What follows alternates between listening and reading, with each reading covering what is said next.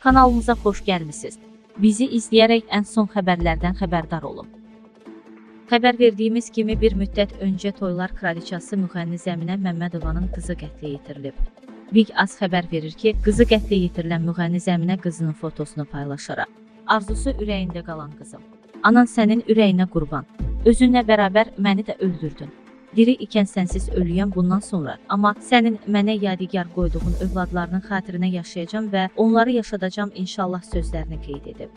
Qeyd edək ki, Zəminənin qızı Şəhanə də müğənnilik edirmiş.